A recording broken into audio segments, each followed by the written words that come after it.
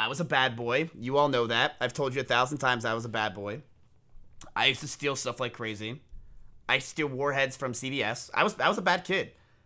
And I stole I went to a store. I'm not gonna say which store in case I ever get sponsored.